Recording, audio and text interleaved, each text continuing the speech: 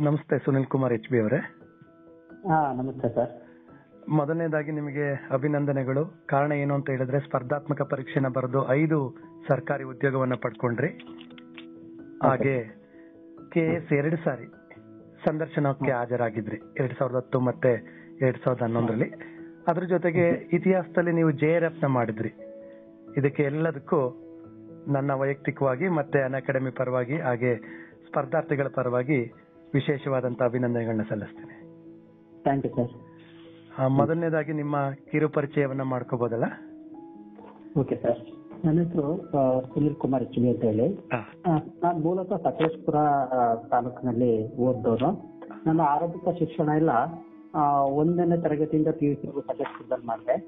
ನಂತರ ಪದವಿಯನ್ನ ಚಿಕ್ಕಮಗಳೂರಿನ I D S C ಕಾಲೇಜಿನಲ್ಲಿ ಮಾಡಿದೆ.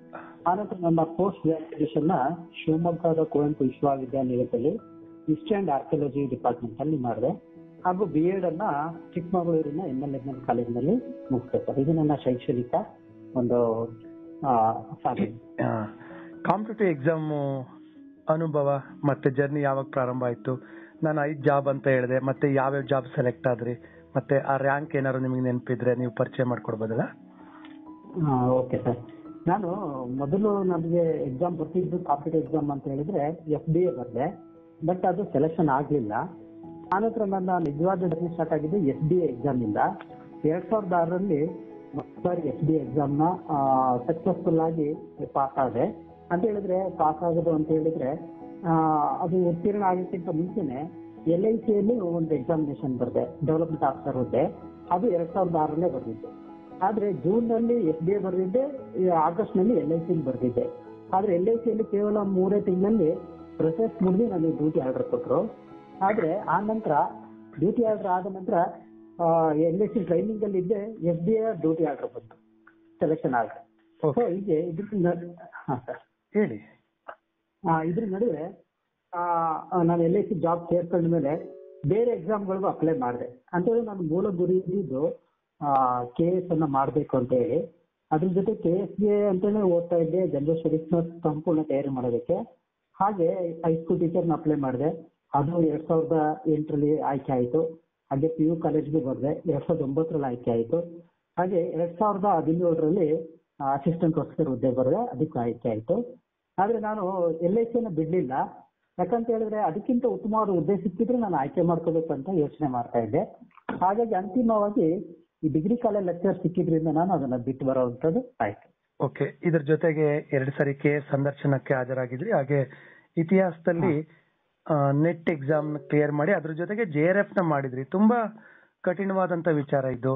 ಹಾಗಾಗಿ ನೀವು ಸ್ಪರ್ಧಾರ್ಥಿಗಳಿಗೆ ಇತಿಹಾಸವನ್ನ ಎಲ್ಲ ಸ್ಪರ್ಧಾತ್ಮಕ ಪರೀಕ್ಷೆಗಳಿಗೆ ಅಂದ್ರೆ ಎಸ್ ಎಲ್ ಸಿ ಕ್ವಾಲಿಫಿಕೇಶನ್ ಮೇಲೆ ನಡೀತಕ್ಕಂಥ ಎಕ್ಸಾಮು ಪಿ ಯು ಕ್ವಾಲಿಫಿಕೇಶನ್ ಮೇಲೆ ನಡೀತಕ್ಕಂಥ ಎಕ್ಸಾಮು ಡಿಗ್ರಿ ಕ್ವಾಲಿಫಿಕೇಶನ್ ಮೇಲೆ ನಡೀತಕ್ಕಂಥ ಎಕ್ಸಾಮು ಪಿ ಜಿ ಅಂದ್ರೆ ಮಾಸ್ಟರ್ ಡಿಗ್ರಿ ಕ್ವಾಲಿಫಿಕೇಶನ್ ಮೇಲೆ ನಡೀತಕ್ಕಂಥ ಎಕ್ಸಾಮು ಈ ಎಲ್ಲಾ ಎಕ್ಸಾಮ್ಗೂ ಬಹು ಆಯ್ಕೆ ಮಾದರಿ ಪ್ರಶ್ನೆಗಳಿಗೆ ಓದ್ಬೇಕು ಹಾಗೆ ವಿವರಣಾತ್ಮಕ ಮಾದರಿ ಪ್ರಶ್ನೆಗಳು ಅಂದ್ರೆ ಕೆ ಎಸ್ ಇರ್ಬೋದು, ಕೆಲವೊಂದು ಶಿಕ್ಷಕರ ನೇಮಕಾತಿ ಇರ್ಬೋದು, ಇದಕ್ಕೆಲ್ಲ ಇತಿಹಾಸವನ್ನ ಹೇಗೆ ಓದ್ಬೇಕು ಅಂತ ನೀವು ಸ್ಪರ್ಧಾರ್ಥಿಗಳಿಗೆ ತಿಳಿಸ್ಕೊಡ್ಬೇಕು ಅಂತ ಕೇಳ್ಕೊಳ್ತೀನಿ.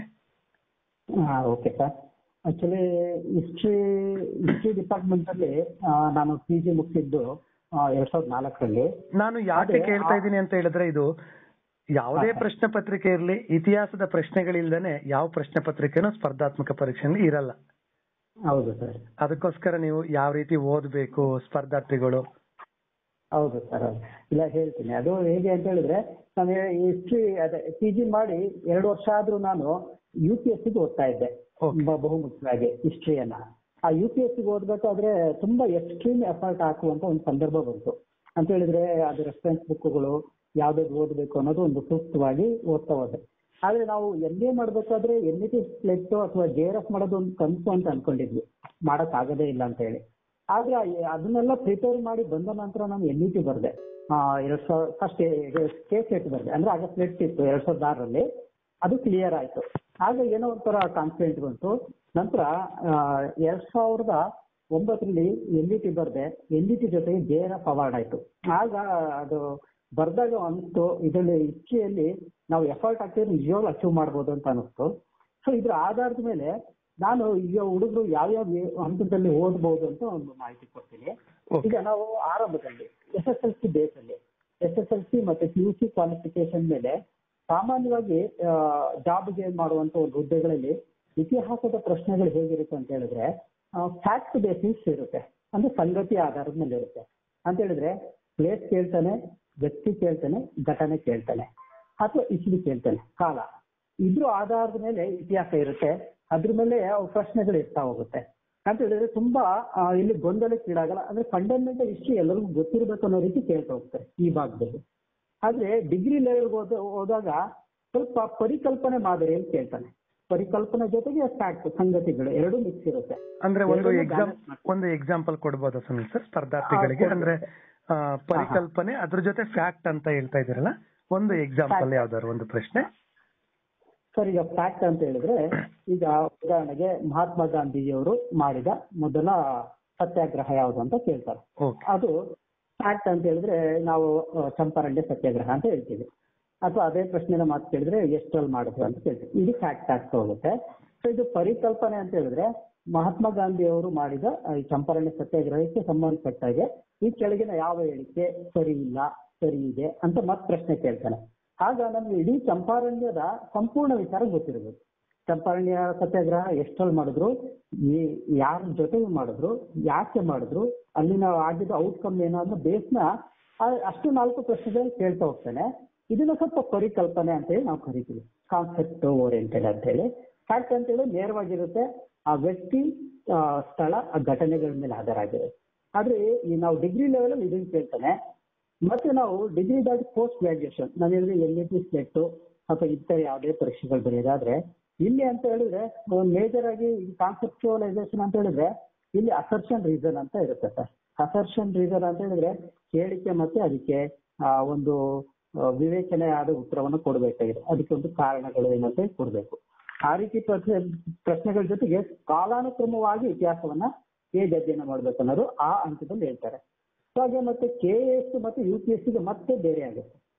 ಕೆ ಪಿ ಎಸ್ ಸಿ ಸಂಬಂಧಪಟ್ಟ ಹಾಗೆ K S C professional officer ಅಲ್ಲಿ ಪ್ರಿಲಿಮಿನರಿ ಕೇಳುವಂತ ಪ್ರಶ್ನೆ ತುಂಬಾ ಹೈಯರ್ ಲೆವೆಲ್ ಅಲ್ಲಿ ಇರುತ್ತೆ. ಆಮೇಲೆ ಮೈನ್ಸ್ ಅಲ್ಲೂ ಅಷ್ಟೇ ಅದನ್ನ ವಿವರಣಾತ್ಮಕವಾಗಿ ಬೇರೆ ರೀತಿಯಾಗಿ ಇರುವಂತದ್ದು ಅಂತ ಹೇಳಿದ್ರೆ ಆ ಪ್ರಿಲಿಮಿನರಿ ಇರೋ ಸಿಲೆಬಸ್ ಇಲ್ಲಿ ನಾವು ವಿವರಣಾತ್ಮಕವಾಗಿ ಬರೆಯೋ ಕೌಶಲ್ಯಗಳನ್ನ ಬೆಳೆಸಬೇಕಾಗುತ್ತೆ ಹಾಗೆ ಯು ಪಿ ಎಸ್ ಸಿಯಲ್ಲಿ ಕೆ ಪಿ ಎಸ್ ಸಿಗೆ ಹಿಸ್ಟ್ರಿ ಸಿಲೆಬಸ್ ಬೇಕಿದ್ರೆ ಸ್ವಲ್ಪ ವೇರಿಯೇಷನ್ ಅಷ್ಟೇ ಒಂದೆರಡು ಪಾಯಿಂಟ್ಗಳು ಡಿಫ್ರೆನ್ಸ್ ಆಗ್ತಾ ಹೋಗುತ್ತೆ. ಅಂತ ಹೇಳಿದ್ರೆ ಈಗ ನಾವು ಕೆ ಪಿ ಎಸ್ ಸಿಯಲ್ಲಿ ಕರ್ನಾಟಕ ಇತಿಹಾಸಕ್ಕೆ ಜಾಸ್ತಿ ಓದಬೇಕು. ಆದ್ರೆ ಮುಖ್ಯ ಪರೀಕ್ಷೆಗೆ ಬಂದ್ರೆ ಕೆ ಪಿ ಎಸ್ ಸಿಯಲ್ಲಿ ವರ್ಲ್ಡ್ ಹಿಸ್ಟ್ರಿ ಓದಂಗಿಲ್ಲ. ಆದ್ರೆ ಯು ಪಿ ಎಸ್ ಸಿಯಲ್ಲಿ ಪ್ರಪಂಚದ ಇತಿಹಾಸವನ್ನು ಓದಬೇಕು.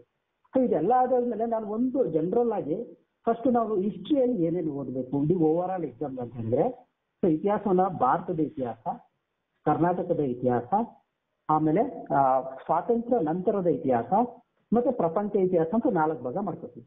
ಸ್ಪರ್ಧಾತ್ಮಕ ಆದ್ರೆ ಆರಂಭಿಕ ಹಂತಗಳಲ್ಲಿ ಕೇವಲ ಭಾರತದ ಇತಿಹಾಸ ಮತ್ತು ಕರ್ನಾಟಕ ಇತಿಹಾಸದ ಮೇಲೆ ಜಾಸ್ತಿ ಪ್ರಶ್ನೆಗಳಿವೆ ಆದ್ರೆ ಪದವಿಯ ನಂತರ ಸ್ವಾತಂತ್ರ್ಯೋತ್ತರ ಸ್ವಲ್ಪ ಇತಿಹಾಸದ ಪ್ರಶ್ನೆಗಳು ಒಂದೆರಡು ಕೇಳ್ತಾ ಹೋಗ್ತಾರೆ. ಅಂದ್ರೆ ಲೈಕ್ ಎಸ್ ಡಿ ಎಲ್ ಎಲ್ಲ ಕೇಳ್ತಾ ಇರ್ತಾರೆ ಒಂದೆರಡು ಆದ್ರೆ ಕೆ ಎಸ್ನಲ್ಲಿ ಇವೆಲ್ಲಾ ಅಂಶಗಳನ್ನ ಪರಿಗಣಿಸ್ತಾರೆ ಯು ಪಿ ಎಸ್ನಲ್ಲಿ ಕರ್ನಾಟಕ ಇತಿಹಾಸ ವಿಶೇಷ ಮಾನ್ಯತೆ ಬಿಟ್ಟು ವರ್ಲ್ಡ್ ಹಿಸ್ಟ್ರಿ ಕೇಳ್ತಾ ಹೋಗ್ತಾರೆ. ಅದನ್ನ ತಿಳ್ಕೊಬೇಕಾಗತ್ತೆ ಸರ್. ಆಮೇಲೆ ಈ ಭಾರತದ ಇತಿಹಾಸವನ್ನ ಮತ್ತೆ ಮೂರು ಭಾಗ ಮಾಡ್ಕೊಳ್ತೀವಿ ಅಧ್ಯಾಯದಲ್ಲಿ ಪ್ರಾಚೀನ ಭಾರತ, ಮಧ್ಯ ಭಾರತ ಮತ್ತು ಆಧುನಿಕ ಭಾರತ. ಆದ್ರೆ ನೀವು ಒಂದು ಸಿಲೆಬಸ್ ಅಲ್ಲಿ ಕೆಲಸ ಕೊಟ್ಟಿರ್ತಾರೆ. ಆಮೇಲೆ ಪೊಲೀಸ್ ಕಾನ್ಸ್ಟೇಬಲ್ ಒಂದು ಸಿಲೆಬಸ್ ಅಲ್ಲಿ ಒಂದು ಲೈನ್ ಇರುತ್ತೆ. ಸೂಕ್ಷ್ಮವಾಗಿ ಎಲ್ಲರೂ ಗಮನಿಸಿರಲ್ಲ. ಸಿಲೆಬಸ್ ಅಲ್ಲಿ ಏನಿರುತ್ತೆ ಅಂತ ಹೇಳಿದ್ರೆ, ಭಾರತದ ಇತಿಹಾಸ ಅಂತ ಹಾಕಿ ಕೊಟ್ಟಿರ್ತಾರೆ ಮತ್ತೆ ಕೊಮಾಕಿ ಆ, ಸ್ವಾತಂತ್ರ್ಯ ಸಂಗ್ರಾಮ ಅಥವಾ ಸ್ವಾತಂತ್ರ್ಯ ಚಳುವಳಿ ಅಂತ ಕೊಟ್ಟಿರ್ತಾರೆ. ಅಂತ ಹೇಳಿದ್ರೆ ಅದು ಇತಿಹಾಸದ ಒಂದು ಭಾಗನೇ ಆಗಿರುತ್ತೆ. ಆದ್ರೆ ನಮ್ಗೆ ಅಲ್ಲಿ ಸ್ವಾತಂತ್ರ್ಯ ಚಳುವಳಿಯ ಬಗ್ಗೆ ಹೆಚ್ಚಿನ ಒತ್ತನ್ನು ಕೊಟ್ಟು ಓದಬೇಕು ಅಂತ ಹೇಳಿ ತಿಳಿಸ್ಕೊಟ್ಟಿರಲಾಗಿರುತ್ತೆ. ಎಲ್ಲಾ ಸ್ಪರ್ಧಾತ್ಮಕ ಪರೀಕ್ಷೆಗಳಲ್ಲೂ ಸ್ವಾತಂತ್ರ್ಯ ಹೋರಾಟಕ್ಕೆ ಸಂಬಂಧಪಟ್ಟಂತೆ ಪ್ರಶ್ನೆಗಳು ಸ್ವಲ್ಪ ಹೆಚ್ಚಿರುತ್ತಲ್ವಾ? ಹೌದು ಹೆಚ್ಚಿರುತ್ತೆ. ಯಾಕಂತ ಹೇಳಿದ್ರೆ ಸಾಮಾನ್ಯವಾಗಿ ಎಲ್ಲಾ ಸ್ಪರ್ಧಾರ್ಥಿಗಳು ನಮ್ಮ ಭಾರತದ ಸ್ವಾತಂತ್ರ್ಯ ಚಳವಳಿಯನ್ನ ಎಲ್ಲರಿಗೂ ಅವೇರ್ನೆಸ್ ಇರಬೇಕು ಅನ್ನೋದು ಪ್ರಮುಖ ಉದ್ದೇಶ. ಆ, ಮೊದಲು ನಮ್ಗೆ ನಮ್ಮ ರಾಷ್ಟ್ರದ ಒಂದು ಸರ್ಕಾರ ಆಡಳಿತ ಮಾಡೋ ಒಂದು ದೇಶ ಸ್ವಾತಂತ್ರ್ಯ ಆಗಿದೆ ಮುಕ್ತ ಆಗಿದೆ ಅಂದ್ರೆ ಅದ್ರ ಬಗ್ಗೆ ಮೊದಲು ತಿಳ್ಕೊಂಡಿರ್ಬೇಕು. ಅಂದ್ರೆ ಕೆಲವು ವಿಚಾರಗಳು ಹ್ಯುಮ್ಯಾನಿಟೀಸ್ ಅಲ್ಲಿ ಇರ್ತಾರೆ ಅಂತ ಹೇಳಿದ್ರೆ ಅದಕ್ಕೆ ಒಂದು ಬಲವಾದ ಕಾರಣಗಳಿರುತ್ತೆ. ಓಕೆ. ಬಹುವಾಕ್ಯ ಮಾದರಿ ಪ್ರಶ್ನೆಗಳ ಬಗ್ಗೆ ತಿಳಿಸ್ಕೊಟ್ರಿ. ಹಾಗೆ ವಿವರಣಾತ್ಮಕ ಮಾದರಿಯನ್ನ ಬರೀತಕ್ಕಂತ ಸ್ಲೆಟ್ ನಿಟ್ಟು ಹಾಗೆ ಕೆ ಎಸ್ ಮುಖ್ಯ ಪರೀಕ್ಷೆ ಜಿ ಎಸ್ ಅಲ್ಲಿ ಆಪ್ಷನಲ್ ಈಗ ಬಿಡ್ತಾ ಇದ್ದಾರೆ. ಜಿ ಎಸ್ ಅಲ್ಲಿ ಹಿಸ್ಟ್ರಿ ಪಾರ್ಟ್ ಬರುತ್ತೆ. ಮತ್ತೆ ಕೆಲವೊಂದು ಶಿಕ್ಷಕರ ನೇಮಕಾತಿ ಇದೆ ಸಿಕ್ಸ್ ಟು ಏಟ್. ಅಲ್ಲಿ ಸ್ವಲ್ಪ ಸಮಾಜ ವಿಜ್ಞಾನ ಬರವಣಿಗೆಯಲ್ಲಿ ಇತಿಹಾಸ ಬರುತ್ತೆ. ಈ ಬರವಣಿಗೆ ಅನ್ನೋದು ಇತಿಹಾಸದಲ್ಲಿ ಅತಿ ಹೆಚ್ಚು ಅಂಕವನ್ನ ಪಡ್ಕೋಬೇಕು ಅಂದ್ರೆ ಹೇಗೆ ಸಾಧ್ಯ? ಬೆಳವಣಿಗೆ ಅಂತ ಹೇಳಿದ್ರೆ ಈಗ ಕೆ ಎಸ್ ಮುಖ್ಯ ಪರೀಕ್ಷೆಗಳಲ್ಲಿ ಇತಿಹಾಸದಲ್ಲಿ ಪಠ್ಯಕ್ರಮಗಳನ್ನ ಕೆ ಎಸ್ ಆಗಿರ್ಬೋದು ಯು ಪಿ ಎಸ್ ಆಗಿರ್ಬೋದು, ಅಲ್ಲಿ ಪ್ರಶ್ನೆಗಳನ್ನ ಏನಂತಾರೆ ಸ್ವಲ್ಪ ಡೈರೆಕ್ಟ್ ಅಂತ ನೇರವಾದ ಪ್ರಶ್ನೆಗಳು ಸ್ವಲ್ಪ ಕಡಿಮೆ. ಕಡಿಮೆ ಅಂತ ಹೇಳಿದ್ರೆ, ಆ, ಒಂದು ರೀತಿ ಏನ್ ಮಾಡ್ತಾನೆ, ವಿಶ್ಲೇಷಣೆ ಅಥವಾ ಚರ್ಚೆ ಮಾಡಿ, ಅಥವಾ ಒಂದು ವಿವರಿಸಿ ಅನ್ನೋ ಪ್ರಶ್ನೆ ಸ್ವಲ್ಪ ಕಮ್ಮಿ ಎಕ್ಸ್ಪ್ಲೈನ್ ಮಾಡಿ ಅಂತ ಎಲ್ಲೂ ಕೇಳೋದಿಲ್ಲ. ಆದ್ರೆ ಒಂದು ಈಗ ಅಲಾವುದ್ದೀನ್ ಖಿಲ್ಜಿಯ ದಾಳಿಯನ್ನ ವಿವರಿಸಿ ಅಂತ ನೇರವಾಗಿ ಎಲ್ಲೂ ಕೇಳೋದಿಲ್ಲ. ಆವಾಗ ಇನ್ನೊಬ್ಬ ಒಂದು ಕಂಪೇರ್ ಮಾಡಿ ಕೇಳ್ತಾನೆ. ಈಗ ಅವನ್ನ ಭಾರತದ ನೆಪೋಲಿಯನ್ ಅಂತ ಕರೀತಾರೆ. ಈ ಭಾರತದ ನೆಪೋಲಿಯನ್ ಮುಂಚೆ ನೆಪೋಲಿಯನ್ ಇದ್ದಾರೆ. ನೆಪೋಲಿಯನ್ ಬಂದು ಇತ್ತೀಚೆಗೆ ಸಾವಿರದ ಏಳ್ನೂರ ಎಂಬತ್ತೊಂಬತ್ತರ ನಂತರ. ಆದ್ರೆ ಅಲಾವುದ್ದೀನ್ ಖಿಲ್ಜಿ ಇದ್ದಿದ್ದು ಸಾವಿರದ ಇನ್ನೂರ ತೊಂಬತ್ತಾರ ನಂತರ. ಅದಕ್ಕೆ ಯಾಕೆ ಹಿಂಗೆ ಕರೀತಾರೆ? ಈಗ ಈ ರೀತಿ ಇತಿಹಾಸಕಾರರು ಏನ್ ಹೇಳ್ತಾರೆ ಆ ರೀತಿಯಾದ ಸ್ವಲ್ಪ ಕಾನ್ಸೆಪ್ಚುವಲೈಸೇಷನ್ ಜಾಸ್ತಿ ಕೊಡ್ತಾ ಹೋಗ್ತಾರೆ. ಯಾವಾಗ? ವಿವರಣಾತ್ಮಕ ಪರೀಕ್ಷೆಗಳಲ್ಲಿ.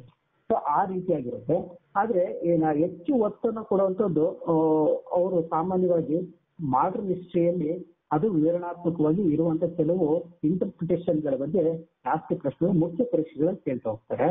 ಹಾಗೆ N D P plus J R F ಅಲ್ಲಿ ಮುಂಚೆ ಎಲ್ಲ ವಿವರಣಾತ್ಮಕ ಇರ್ತಿತ್ತು. ಈಗ ನೇರವಾಗಿ ಬರೀ ಮಲ್ಟಿಪಲ್ ಚಾಯ್ಸ್ ಮಾತ್ರ ಇಟ್ಟಿದ್ದಾರೆ. ಮಲ್ಟಿಪಲ್ ಚಾಯ್ಸ್ ಪ್ರಶ್ನೆಗಳನ್ನ ನೂರು ಪ್ರಶ್ನೆಗಳನ್ನ ಮಾಡಿದ್ದಾರೆ. ಅದರಲ್ಲಿ ಎಲ್ಲಾ ರೀತಿಯಾಗಿ ಡಿವೈಡ್ ಮಾಡಿದ್ರೆ ಒಂದು ಕಾಲಾನುಕ್ರಮ ಅಧ್ಯಯನ ಮಾಡಿದರೆ, ಆಮೇಲೆ ಅಸರ್ಷನ್ ಮತ್ತೆ ರಿಟರ್ನ್ ಹೇಳಿಕೆ ಮತ್ತೆ ಅದಕ್ಕೆ ಪ್ರತಿಪಾದನೆ ರೀತಿಯ ಆಮೇಲೆ ಮ್ಯಾಕ್ಸ್ ಆಫ್ ಫಾಲೋಯಿಂಗ್ ಅಂತ ಇಟ್ಟಿದ್ದಾರೆ. ಆಮೇಲೆ ಮತ್ತೆ ಸಾಮಾನ್ಯವಾಗಿ ಇತ್ತೀಚಿನ ಪರೀಕ್ಷೆಗಳಲ್ಲಿ ಹೇಗಿದೆ ಅಂತ ಹೇಳಿದ್ರೆ miss of the following is not correct ಅಂತ ಕೇಳ್ತಾರೆ. ಅಂದ್ರೆ ನಾಟ್ ಅಂತ ಹೇಳೋ ಅಂತ ವರ್ಡ್ ಇಲ್ಲಿ ಯೂಸ್ ಮಾಡ್ತಾರೆ. ಮುಂಚೆ ಎಲ್ಲ ಈ ಕೆಳಗಿನವುಗಳು ಯಾವ್ದು ಸರಿ ಅಂತ ಕೇಳೋರು. ಅಂದ್ರೆ ಸರಿ ಅಂತ ಹೇಳಿದ್ರೆ ನಮ್ಗೆ ಯಾವ್ದು ಒಂದ್ ಗೊತ್ತಿದ್ರೆ ಸಾಕಿತ್ತು. ಈಗ ಯಾವ್ದು ಅಲ್ಲ ಅಂತ ಕೇಳ್ತಾ ಇದ್ದಾಗ ನಮಗಾಗ ಮೂರು ಆಪ್ಷನ್ ಗೊತ್ತಿರಲೇಬೇಕು. ಒಂದು ಅಲ್ಲ ಅಂತ ಅಂದಾಗ ಇಡೀ ವಿಚಾರ ನಮ್ಗೆ ಇಲ್ಲಿ ಅರ್ಥ ಆಗಿರ್ಬೇಕು ಅಂತ ಹೇಳಿ ಇತಿಹಾಸವಾದ ಒಂದು ಹೊಸ ಟ್ರೆಂಡ್ ಆಗಿದೆ ಅಂತ ಹೇಳಿ ಹೇಳ್ಬೋದು ಸರ್ ಇದು ಓಕೆ. ಮತ್ತೆ ವಿವರಣಾತ್ಮಕ ಮಾದರಿಗೆ ತಿಳಿಸ್ಕೊಟ್ರೆ, ಆ ಇತಿಹಾಸಕ್ಕೆ ಸಂಬಂಧಪಟ್ಟಂತೆ ಕೆಲವೊಂದು ಸ್ಪರ್ಧಾತ್ಮಕ ಪರೀಕ್ಷೆನಲ್ಲಿ ನೆಗೆಟಿವ್ ಅಂಕ ಇರುತ್ತೆ. ಉದಾಹರಣೆಗೆ ಕೆ ಎಸ್ ಪ್ರಿಲಿಮ್ಸ್ ಇರ್ಬೋದು. ಪಿ ಎಸ್ ಐ ಇರ್ಬೋದು ಪಿ ಸಿ ಇರ್ಬೋದು ನೆಗೆಟಿವ್ ಅಂಕ ಇರುತ್ತೆ. S D S T F D ನಲ್ಲಿ ಜಿ ಎಸ್ ಅಲ್ಲಿ ನೆಗೆಟಿವ್ ಇಲ್ಲ. ಈಗ ನೆಗೆಟಿವ್ ಇದ್ದಂತ ಸಂದರ್ಭದಲ್ಲಿ ಸ್ವಲ್ಪ ಇತಿಹಾಸದ ಪ್ರಶ್ನೆಗಳನ್ನ ಹೇಗೆ ಅಟೆಂಡ್ ಮಾಡಬೇಕು ಸ್ಪರ್ಧಾರ್ಥಿಗಳು? ಅಂದ್ರೆ ಅವನ್ನ ಬಿಟ್ಬಿಡೋದು ಅಥವಾ ಗೆಸ್ ಮಾಡಿ ಬರೆಯೋದು ಅಥವಾ ಎಲ್ಲನೂ ಅಟೆಂಡ್ ಮಾಡೋದು ಇದ್ರ ಬಗ್ಗೆ ನಿಮಗೆ ಸಾಕಷ್ಟು ಅನುಭವ ಇರೋದ್ರಿಂದ ಅಂದ್ರೆ ಇದು ಎಸ್ ಪಿ ಎಸ್ ಡಿ ಅಲ್ಲಿ ಬಿಡೋ ಸಾಧ್ಯತೆ ಬೇಡ. ನೆಗೆಟಿವ್ ಇಲ್ಲ ಅಂತ ನೆಗೆಟಿವ್ ಇಲ್ಲ ನೆಗೆಟಿವ್ ಇದ್ದಂತ ಸಂದರ್ಭದಲ್ಲಿ. ನೆಗೆಟಿವ್ ಇದ್ದಾಗ ಸರ್ ನಾವು ಏನ್ ಮಾಡ್ಬೇಕು ಅಂತ ಹೇಳಿದ್ರೆ ತುಂಬಾ ಹಂಡ್ರೆಡ್ ಪರ್ಸೆಂಟ್ ಇರೋದು ಮುಟ್ಬೋದು. ಆಮೇಲೆ at least fifty sixty percent ಅನ್ನು ಕನ್ಫರ್ಮ್ ಆದ್ರೆ ಆ ಪ್ರಶ್ನೆಗಳನ್ನ ಪ್ರಯತ್ನ ಮಾಡಬಹುದು ಆದ್ರೆ ನನಗೆ ಕಂಪ್ಲೀಟ್ ಆಗಿ ಆ ಕಾನ್ಸೆಪ್ಟ್ ಗೊತ್ತಿಲ್ಲ ಅಂತ ಹೇಳಿದ್ರೆ ರಿಸ್ಕ್ ತಗೊಳ್ಳೋದು ಬೇಡ ಅಂತ ಅನ್ಸುತ್ತೆ. ಯಾಕೆಂದ್ರೆ ನಾನು ಯಾಕೆ ಈ ಪ್ರಶ್ನೆಯನ್ನ ಕೇಳಿದೆ ಅಂದ್ರೆ ಹಿಸ್ಟ್ರಿನಲ್ಲಿ ಗೆಸ್ ಮಾಡಿ ಬರಿಬಹುದು compare to economy polity. Science. Current affairs G K ಅಂದ್ರೆ ಮಿಸ್ ಗೆಸ್ ಮಾಡಿ ಬರಿಬಹುದು ಅಂತ ಒಂದು ಅಭ್ಯರ್ಥಿಗಳ ಕಡೆಯಿಂದ ಒಂದು ಪ್ರತಿಕ್ರಿಯೆ ಬರುತ್ತೆ. ಅದಕ್ಕೆ ನೀವು ನಿಖರವಾಗಿ ಉತ್ತರವನ್ನ ಕೊಡ್ತೀರಾ ಅಂತ ಭಾವಿಸಿ ಕೇಳಿ ಈ ಪ್ರಶ್ನೆಯನ್ನ ಸರ್. ಆಕ್ಚುಲಿ ಸರ್ ಏನಂತ ಹೇಳಿದ್ರೆ ಕಂಪೇರ್ ಟು ನಾವು ಇದು ಹ್ಯುಮ್ಯಾನಿಟೀಸ್ ಅಲ್ಲಿ ಜಿಯೋಗ್ರಫಿ ಪಾಲಿಟಿ ಮತ್ತೆ ಎಕನಾಮಿ ಹೋಲಿಸ್ಕೊಂಡ್ರೆ ಇಷ್ಟು ತುಂಬಾ ವಾಸ್ಟ್ ಇದೆ. ಆ ಸ್ಪರ್ಧಾತ್ಮಕ ಪರೀಕ್ಷೆಯಲ್ಲಿ ಇತಿಹಾಸವನ್ನ ಒಂದ್ ರೌಂಡ್ ಓದೋದ್ರಲ್ಲಿ ಮೂರ್ನ ಮೂರ್ ಸಲ ಓದ್ಬೋದು. ಅಷ್ಟು ವಿಚಾರ ವಿಚಾರಗಳ ಇತಿಹಾಸದಲ್ಲಿದೆ. ಆದ್ರೆ ಅಷ್ಟೊಂದು ನಾವು ಹೋಲ್ಡಿಂಗ್ ಮಾಡ್ಲಿಕ್ಕೆ ಆಗಲ್ಲ ಅಂತ ಎಷ್ಟೋ ಜನರಲ್ಲಿ ಭಾವನೆ ಇದೆ. ಆದ್ರೆ ಅಕಾಡೆಮಿಕ್ ಹೋದ ಹಿಸ್ಟ್ರಿ ಬೇರೆ ಸ್ಪರ್ಧಾತ್ಮಕ ಪರೀಕ್ಷೆಗೆ ಇತಿಹಾಸ ಓದೋದು ಬೇರೆ. ಅದೇನಂತ ಹೇಳಿದ್ರೆ ಇಲ್ಲಿ ಏನ್ ಮಾಡ್ತಾರೆ ಅಂತ ಹೇಳಿದ್ರೆ ಇತ್ತೀಚಿನ ಪ್ರಶ್ನೆ ಪತ್ರಿಕೆಗಳಲ್ಲಿ ಕೇಳುವಂತ ವಿಚಾರ ಏನಂತ ಹೇಳಿದ್ರೆ ಪೊಲಿಟಿಕಲ್ ಹಿಸ್ಟ್ರಿ ಬಗ್ಗೆ ಜಾಸ್ತಿ ಕೇಳಲ್ಲ.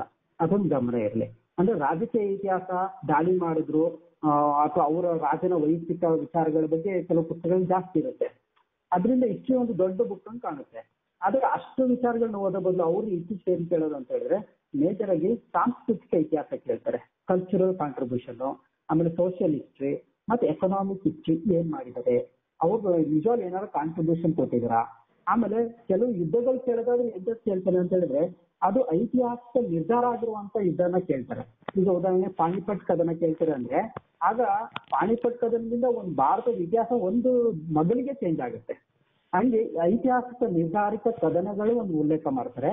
ಇದನ್ನೆಲ್ಲ ಪರಿಗಣನೆ ಮಾಡಿಕೊಂಡು ನಾವು ಅಂತ ಏರಿಯಾಗಳನ್ನ ತುಂಬಾ ಫೋಕಸ್ ಮಾಡಿ ಓದಿದ್ದೆ ಆದಲ್ಲಿ ಪ್ರಶ್ನೆಗಳನ್ನ ನಾವು ಇದ್ರಲ್ಲಿ ಯಾವುದು ಅಂತ ಹೇಳಿ ಸರಿಯಾಗಿ ಗುರುತಿಸಬಹುದು ಇಲ್ಲ ಅಂತ ಹೇಳಿದ್ರೆ ನಾವು ಇತಿಹಾಸವನ್ನ ಸುಮ್ಮನೆ ಎಲ್ಲವನ್ನು ಒಟ್ಟಾರೆಯಾಗಿ ಓದಿದಾಗ ನಮಗೆ ಸ್ವಲ್ಪ ಕನ್ಫ್ಯೂಷನ್ ಆಗುತ್ತೆ.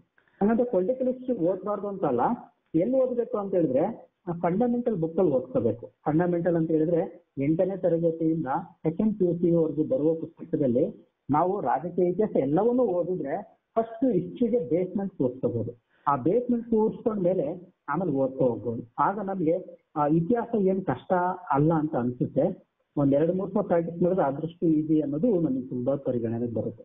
ಓಕೆ ಸುನಿ ಸರ್ ಇತಿಹಾಸಕ್ಕೆ ಒಂದು ಎಸ್ ಎಸ್ ಎಲ್ ಸಿ ಇಂದ ಪಿ ಜಿ ವರೆಗೆ ಓದ್ಲಿಕ್ಕೆ ಸ್ಪರ್ಧಾರ್ಥಿಗಳು ಒಂದೊಂದು ಎಕ್ಸಾಮ್ಗೆ ಒಂದೊಂದು ಬುಕ್ಸ್ನ ರೆಫರ್ ಮಾಡಬೇಕಾಗುತ್ತೆ. ಆದ್ರೆ ಒಟ್ಟಾರೆಯಾಗಿ ನೀವು ಎಲ್ಲಾ ಎಕ್ಸಾಮ್ಗೂ ಸೇರಿದಂತೆ ಬುಕ್ಸ್ಗಳ ಬಗ್ಗೆ ನೀವು ಯಾವ್ದು ಓದ್ತಾ ಇದ್ರಿ ಅಥವಾ ಸ್ಪರ್ಧಾರ್ಥಿಗಳು ಯಾವ್ದನ್ನು ಓದ್ಬೇಕು ಮತ್ತೆ ಯಾವ ಪುಸ್ತಕವನ್ನ ಯಾವ ತರ ಓದ್ಬೇಕು ಅನ್ನೋದು ಮುಖ್ಯ ಆಗುತ್ತೆ. ಕೆಲವೊಂದ್ ಸರಿ. ಬುಕ್ಸ್ ಗಳಿದ್ರು ನಮ್ಮ ಹತ್ರ ಒಂದೊಂದು ಬುಕ್ಸ್ನ ಒಂದೊಂದು ರೀತಿ ಓದ್ಬೇಕಾಗುತ್ತೆ. ಅದ್ರ ಬಗ್ಗೆ ನೀವು ತಿಳಿಸ್ಕೊಡ್ಬೋದಾ? ಓಕೆ ಸರ್ ಆ, ಮೊದಲು ಏನಂದ್ರೆ ಅಂತ ಹೇಳಿದ್ರೆ ನಾವ್ ಯಾವಾಗ್ಲೂ ಎಲ್ಲರೂ ಹೇಳ್ತಾರೆ ನಾನು ಸಹ ಹೇಳ್ತೀನಿ. ನಾನು ಮಾಡಿದ್ದು ಅದೇ. ಏನಪ್ಪಾ ಅಂತ ಹೇಳಿದ್ರೆ ಗೌರ್ಮೆಂಟ್ ಹೈಸ್ಕೂಲ್ ಬುಕ್ಗಳನ್ನ ನಾವು ಎಂಟನೇ ತರಗತಿಯಿಂದ ಓದ್ಲೇಬೇಕು ತುಂಬಾ ಸೈನ್ಸ್ ಬ್ಯಾಕ್ ಗ್ರೌಂಡ್ ಇಂದ ಬಂದಿದ್ದೀನಿ. ಅಲ್ಲಿಗೂ ಅರ್ಥ ಆಗಲ್ಲ ಅಂದ್ರೆ ಆರನೇ ತರಗತಿಯಿಂದ ಓದಿದ್ರೆ ಒಳ್ಳೇದು ಅದು ಇತ್ತೀಚಿನ ಹೈಸ್ಕೂಲ್ ಪುಸ್ತಕಗಳಂತೂ ಸಾಮಾನ್ಯವಾಗಿ ಸಿ ಬಿ ಎಸ್ ಸಿಯ ಮಾದರಿಯಲ್ಲಿ ಹೆಚ್ಚು ಕಡಿಮೆ ಇದೆ. ಅದರಿಂದ ಅಲ್ಲಿಂದನೂ ಓದ್ತಾ ಹೋದ್ರೆ ನಮ್ಗೆ ಎಸ್ ಎಸ್ ಎಲ್ ಸಿವರೆಗೂ ಒಂದು ವಿಷನ್ ಸಿಗುತ್ತೆ. ಆ ನಂತರ first P U C second P U C history book ಬರುತ್ತೆ. ಆದ್ರೆ ಕಾಂಪಿಟೇಟಿವ್ ಎಕ್ಸಾಮ್ಗೆ ಫಸ್ಟ್ ಪಿ ಸಿ ಪುಸ್ತಕ ಪ್ರಿಫರೇಬಲಿ ಅಲ್ಲ. ಯಾಕಂತ ಹೇಳಿದ್ರೆ ವರ್ಲ್ಡ್ ಹಿಸ್ಟ್ರಿ ಇರುತ್ತೆ. ನಮಗೆ ಇಂಡಿಯನ್ ಹಿಸ್ಟ್ರಿ ಮಾತ್ರ ಅಧ್ಯಯನ ಮಾಡಿದ್ರೆ ಸಾಕು. ಇಂಡಿಯನ್ ಹಿಸ್ಟ್ರಿ ಮತ್ತೆ ಕರ್ನಾಟಕ ಹಿಸ್ಟ್ರಿ ಅವೆರಡನ್ನ ನೋಡ್ಕೊಂಡು ಬ್ಯಾಲೆನ್ಸ್ ಮಾಡ್ಬೇಕು. ಸೊ ಫಂಡಮೆಂಟಲ್ ಇದನ್ನ ಓದಿದ ಮೇಲೆ ನಮ್ಮಲ್ಲಿ ವಿದ್ಯಾರ್ಥಿಗಳು ಸಾಮಾನ್ಯವಾಗಿ ನನಗೆ ಕೇಳೋ ಪ್ರಶ್ನೆಗಳು ಏನಂತ ಹೇಳಿದ್ರೆ ಸರ್ ಯಾವ್ದು ಸ್ಟಡಿ ಮೆಟೀರಿಯಲ್ ಕೊಡಿ ನೋಟ್ಸ್ ಕೊಡಿ, ಅಂತ ಹೇಳಿದ್ರೆ ನಾವು ನೋಟ್ಸ್ ಮೇಲೆ ಡಿಪೆಂಡ್ ಆಗ್ತಿದ್ವಿ. ಅದು ತುಂಬಾ ಲೇಟ್ ಆಗಿ ಮಾಡಿದ್ರೆ ಒಳ್ಳೇದು. ಫಸ್ಟ್ ನಾವು ಇಂಥ ಬುಕ್ಗಳನ್ನ ಓದಿ ನಮ್ಮ ಸ್ವಯಂ ನೋಟ್ಸ್ ಮಾಡ್ಕೊಂಡ್ರೆ ಅನುಕೂಲ. ಇದು ಆದ ಮೇಲೆ ಬೇಕಿದ್ರೆ ನಮ್ಗೆ ಕನ್ನಡದಲ್ಲಿ ಒಳ್ಳೊಳ್ಳೆ ಪುಸ್ತಕಗಳು ಬಂದಿದೆ. ಸೊ ಕನ್ನಡದಲ್ಲಿ ಪ್ರಾಚೀನ ಭಾರತದ್ದು ಎಕ್ಸಾಮಿನೇಷನ್ ಅಂತ ಹೇಳಿದ್ರೆ, ಈಗ ಕೆ ಎಸ್ ಎಕ್ಸಾಮ್ ಅಥವಾ ಎಫ್ ಡಿ ಎಸ್ ಡಿ ಅಲ್ಲಿಂದ ಹೇಳೋದಾದ್ರೆ, ಆರ್ ಶರ್ಮಾ ಅವರ ಪ್ರಾಚೀನ ಭಾರತ ಇತಿಹಾಸ ಒಂದು ಒಳ್ಳೆ ಬುಕ್ ಅದನ್ನು ತುಂಬಾ ಚೆನ್ನಾಗಿ ರೆಫರೆನ್ಸ್ ಮಾಡಬಹುದು ಆಕ್ಚುಲಿ ಪ್ರಾಚೀನ ಭಾರತ ಆರ್ ಎಸ್ ಶರ್ಮಾ ಅವ್ರ ಬುಕ್ ಹಳೆ ಓಲ್ಡ್ ಎನ್ ಸಿ ಆರ್ ಟಿಯ ಬುಕ್ ಹಾಕರ್ ಅವರು ಮುಂಚೆ ಇದ್ದಿದ್ದು. ಅವ್ರ ಬುಕ್ನೇ ಪ್ರಿಫರೇಬಲ್ ಇಟ್ಟಿದ್ರು. ಕ್ಲಾಸ್ ಲೆವೆಂತ್ಗೆ ಅಂತ ಇಟ್ಟಿದ್ರು. ಆಮೇಲೆ ಮಧ್ಯಕಾಲೀನ ಭಾರತಕ್ಕೆ ಸಫಿಷಿಯಂಟ್ ಇಂಗ್ಲಿಷ್ ಮೀಡಿಯಂ ಇದೆ ಕನ್ನಡ ಬುಕ್ಸ್ಗೆ ಮೈಸೂರು ಪ್ರಕಾಶನ ಎಲ್ ಜಿ ಭಟ್ ಅವ್ರದ್ದೊಂದು ಬುಕ್ ಚೆನ್ನಾಗಿದೆ. ಅದು ಬಿಟ್ರೆ ನಮಗೆ ಸದಾಶಿವ ಅಥವಾ ನಮ್ಗೆ ಪಾಲಕ್ಷ ಅದು ನಡೆಯುತ್ತೆ. ಅಥವಾ ಕೆ ಎಂ ಬುಕ್ ಯಾವ್ದಾದ್ರು ಎಲ್ಲಿ ಒಂದು ಬುಕ್ ತಗೊಂಡ್ರೆ ಸಾಕು ನೀವು. ಎಲ್ಲ ಬುಕ್ನು ತಗೋಬೇಕಂತ ಇಲ್ಲ. ಯಾವ್ದಾದ್ರು ಒಂದು ಬುಕ್ ರೆಫರ್ ಮಾಡ್ಬೋದು. ಆದ್ರೆ ಆಧುನಿಕ ಭಾರತಕ್ಕೆ ಒಂದು ಒಳ್ಳೆ ಬುಕ್ ಇದೆ.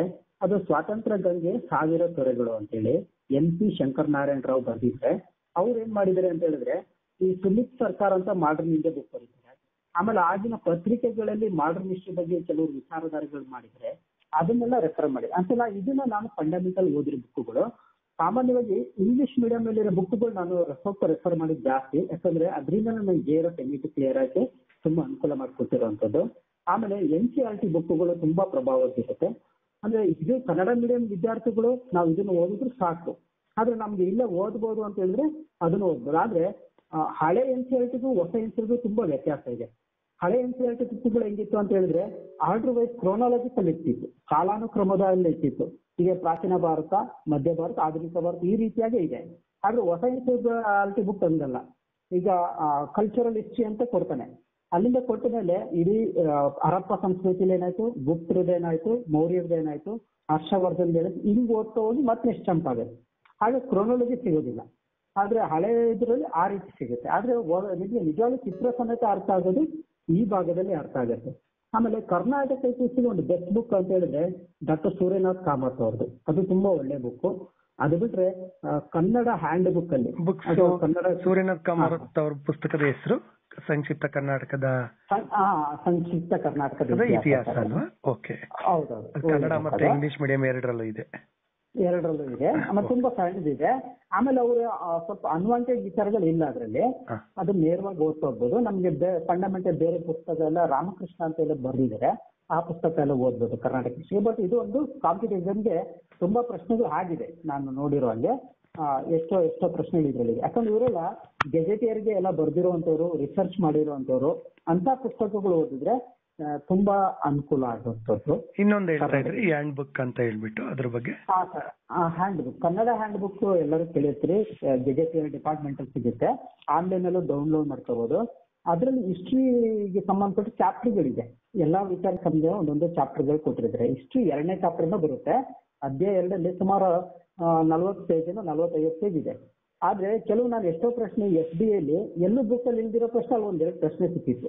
ಆ, ಸಾವಿರದ ಒಂಬೈನೂರ ಮೂವತ್ತ ಅದು ನೆನಪಿಲ್ಲ ಸರ್ ನನಗೆ. ಬಟ್ ಅದು ನಾ ರೆಫರೆನ್ಸ್ ಅಲ್ಲಿ ನೋಡಿದಾಗ ಅಲ್ಲಿ ಇತ್ತು. ಅಂದ್ರೆ ಗೌರ್ಮೆಂಟ್ ನವರು ಪಬ್ಲಿಷ್ ಮಾಡಿರುವಂತ ಪುಸ್ತಕಗಳನ್ನ ಸ್ವಲ್ಪ ನಾವು ರೆಫರ್ ಮಾಡೋದು ತುಂಬಾ ಅನುಕೂಲ. ಯಾಕಂತ ಹೇಳಿದ್ರೆ ಆ, ಒಟ್ಟಾರೆಗೆ ಒಂದು ಮ್ಯಾನ್ಯಲ್ ತಗೊಂಡು ಎಲ್ಲೂ ಪ್ರಶ್ನೆ ಯಾರು ಕೇಳೋದಿಲ್ಲ. ಯಾಕಂದ್ರೆ ಸರ್ಕಾರ ಪ್ರಿಫರೇಬಲಿ ಇಂಥದ್ನ ನೋಡುವಂಥದ್ದು. ಅದೇ ಅಂತ ಬುಕ್ ನಾವು ರೆಫರ್ ಮಾಡಿದ್ರೆ ತುಂಬಾ ಅನುಕೂಲ ಆಗುವಂಥದ್ದು. ಆಮೇಲೆ ನಾನು ಯಾವಾಗಲೂ ಇನ್ನೊಂದು ಸದ್ಯ ಸಲಹೆ ಕೊಡೋದೇನಂತ ಹೇಳಿದ್ರೆ ಆ, ಒಂದೇ ಮ್ಯಾನ್ಯಲ್ಗೆ ಫಿಕ್ಸ್ ಆಗಬೇಡಿ. ಯಾಕಂದ್ರೆ ಈಗ ಒಂದು ಮ್ಯಾನ್ಯಲ್ ಸಿಗುತ್ತೆ ಅಂತ ಹೇಳಿದ್ರೆ ಕೈಪಿಡಿಗಳು ಬರ್ದಿರ್ತಾರೆ ಕೈಪಿಡಿ ಅಂತ ಹೇಳಿದ್ರೆ ಅದ್ರಲ್ಲಿ ಇತಿಹಾಸ ಇರುತ್ತೆ, ವಿಜ್ಞಾನ ಇರುತ್ತೆ, ಸಮಾಜ ಎಲ್ಲ ಇರುತ್ತೆ. ಅದು ಜಸ್ಟ್ ನಿಮ್ ರೆಫರೆನ್ಸ್ ಅಷ್ಟೇ ಅದು. ಅದೊಂದ್ರಲ್ಲಿ ಓದಿ ಎಫ್ ಡಿ ಇದ್ರಲ್ಲಿ ಓದಿ ಎಫ್ ಡಿ ಎ ಪಾಸ್ ಆಗ್ತೀರಿ, ಇದನ್ನ ಓದಿ ಎಸ್ ಪಾಸ್ ಆಗ್ತೀರಿ ಅಂತ ತುಂಬಾ ಇರುತ್ತೆ. ಆದ್ರೆ ಜಸ್ಟ್ ನಿಮ್ ಲಾಸ್ಟ್ ಆಪ್ಷನ್ ರೆಫರೆನ್ಸ್ ಇರಬೇಕು. ಆದ್ರೆ ಅದರಲ್ಲಿ ಎಲ್ಲ ಇತಿಹಾಸನು ಕವರ್ ಮಾಡೋದಕ್ಕಾಗಲ್ಲ, ಎಲ್ಲ ಜಿಯೋಗ್ರಫಿ ಕವರ್ ಮಾಡೋಕ್ಕಾಗಲ್ಲ. ಅದರಿಂದ ಇತಿಹಾಸವನ್ನ ಆ ಆ ರೀತಿಯಾಗಿ ಬೇರೆ ದೃಷ್ಟಿಕೋನದಲ್ಲಿ ಓದೋ ಶುರು ಮಾಡಿದ್ರೆ ಅರ್ಥ ಆಗುತ್ತೆ.